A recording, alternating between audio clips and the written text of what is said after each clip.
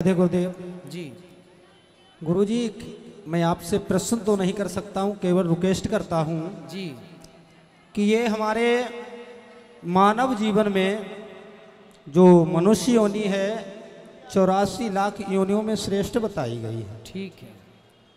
तो इसमें मानव योनि में जो बताया है पुनर्जन्म के बारे में। सब बैठ जाओ बेटा सब बैठो अच्छा लगेगा सब सुनो। जो मानव योनि में बताया पुनर्जन्म। क्या ये सच है कि पुनर्जन्म यानी दोबारा जन्म उसी योनि में संभव है? उसी योनि में संभव है ये तो भगवान के हाथ में है पर अन्य योनियाँ चौरासी लाख योनियों में यदि पाप है हमारा जी। तो अन्य जगह जाना है। जी। पुण्य है तो मोक्ष होना है। जी। और यदि बीच में है बात आपने जैसे भरत जी जी। भरत जड़ भरत जी एक बार मृग बने फिर मनुष्य बन गए। तो ज़रूरी नहीं है कि आप चौरासी लाख योनि में जाएँ। हो सकता है आप चीटी बने चीटी बन के तुरंत मर गए फिर मनुष्य का तन मिल गया। जी। या डायरेक्ट मर के भी आप मनुष्य बन सकते हैं वो पुण्य डिसाइड करेगा कि आपके पुण्य कितने हैं। गुरुजी कुछ लोग ये कहते हैं कि जैसे किसी बच्चे ने जन्म लिया तो कहते हैं कि वो बच्चा कहता है कि हमारा वो परिवार था और उस जगह पर हम रहते थे वो हमारी पत्नी है वो हमारे पिता हैं वो हमारे पुत्र हैं ये संभव है सत्य है। हाँ ऐसा लाखों में करोड़ों में कोई एक केस ऐसा होता है जिससे अपना पुनर्जन्म पिछला जन्म याद रहता है। ऐसा होता है। होता है श्री जय श्री राधे राधे गुरु जी जी। गुरु जी राधे राधे। जी। गुरु जी हम लड्डू लोग लड्डू गोपाल ले जाना चाहते हैं और हमारे घर में हम लोग कोई मांस नहीं खाते।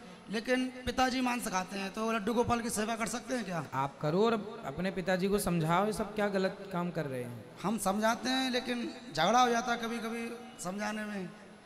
समझाओ झगड़ा तो ठीक है अपनी जगह पर समझाओ उनको कथा सुनवाया करो। लेकिन भोजन तो फिर एक ही में बनता सभी लोगों का। तो वो मांस घर में ना बनाओ ना आप लोग। नहीं वो अपना बना लेते हैं लेकिन बर्तन तो एक ही है सब। वो अपने अप, उनसे बोलो घर के बाहर बनाए माँ है आपकी। हाँ जी। तो माँ बना के देती हैं क्या? वही बनाते हैं। तो माँ माँ भी खाती हैं? माँ नहीं खाती हैं। तो उनसे बोल दो भाई घर में बनाओ मत।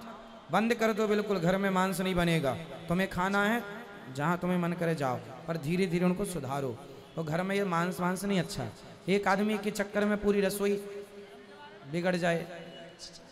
राधे राधे गुरुजी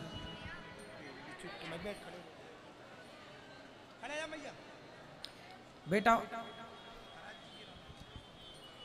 गुरुजी राधे राधे। जी। गुरुजी प्रणाम। जी। गुरुजी अम, आप बरनाला गए थे पंजाब। तीन साल अढ़ाई तीन साल हो गया। वहीं से हम हम हमारी बहन लुधियाना से आई थी। अभी अभी थोड़ा दिन पहले भी आई थी हमारी बहन। आपसे भेंट करके गई है प, पटना से आई थी। आपसे भेंट करके गई है। उन उसने उन्होंने हमको ज्ञान दिया। हमारा दो पोता है। वो बहुत सारा पढ़ लिख के काम करना नहीं चाहता है। हाँ तो उसको आप थोड़ा सा आशीर्वाद दीजिए कि वो काम करे। बिल्कुल आशीर्वाद। है, खुश रहो। यहाँ ले आना बेटा आगे माइक। वो बहन को देना वहाँ फिर उसके बाद यहाँ आगे ले आना। सब लोग बैठे रहो। सबका अवसर आएगा। राधे राधे गुरुजी आपके चरणों में मेरा कोटि कोटि प्रणाम। खुश रहिए। गुरुजी मेरा प्रश्न ये है कि कभी कभी हमें ऐसा पूजा करते समय लगता है कि हम किसी स्वार्थ की वजह से पूजा तो नहीं कर रहे? हमारा इसमें कोई स्वार्थ तो नहीं है? ठीक है यदि कोई स्वार्थ है भी तो कोई बुरा नहीं है। भगवान उसे पूरा करेंगे। धीरे धीरे इतने जल्दी ना हम निष्काम नहीं होते पर हो जाएँगे। अभी सकाम इच्छाएँ तो सबकी होती हैं। और वो इच्छाएँ भक्त भगवान से कह सकता है। तो शुरू में इच्छाएँ होना कोई बुरा नहीं है पर वो इच्छाएँ आखिरी में आपको निष्काम हो जाना चाहिए। जी गुरु जी भगवान सब जानते हैं कि मेरे भक्त को क्या चाहिए सब गुरु देते हैं। गुरु जी मेरा एक ये प्रश्न था कि जो मूल मंत्र है ना उसमें जो तीसरा वाला श्लोक है लक्ष्मी नाथ समारंभम उसका अर्थ क्या है? हमारी परंपरा कहाँ से शुरू हुई? लक्ष्मी नाथ यस लक्ष्मी से शुरू लक्ष्मी लक्ष्मीनाथ समारंभाम नाथ यामुन इसके आचार्य नाथ मुनि हुए हैं।